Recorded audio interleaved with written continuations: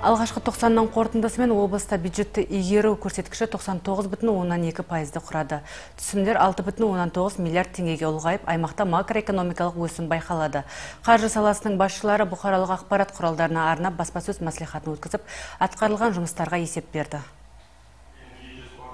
Жалпы өңірдің экономикалық әлеуметтік даму динамикасында ілгерілеушілік бар.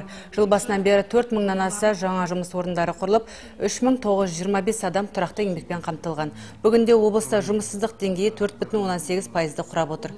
Шағын және орта бизнес саласында белсенділік жоғары.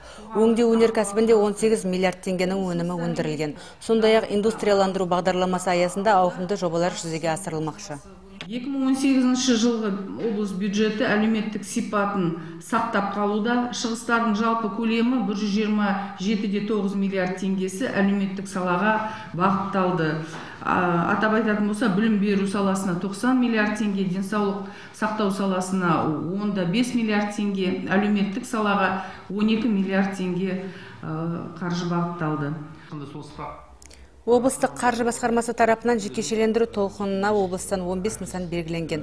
Бірақ ол тізімнің қатарынан Нұрсат теннис орталығы мен номер екінші қалалық емхана шығарылып отыр. Спорт кешені облыстық дене шынықтыру және спорт басқармасының теңгеріміне берілсе, емхана мемлекеттік жекеменшік әріптестік аясында жаңа ғимаратқа көшті.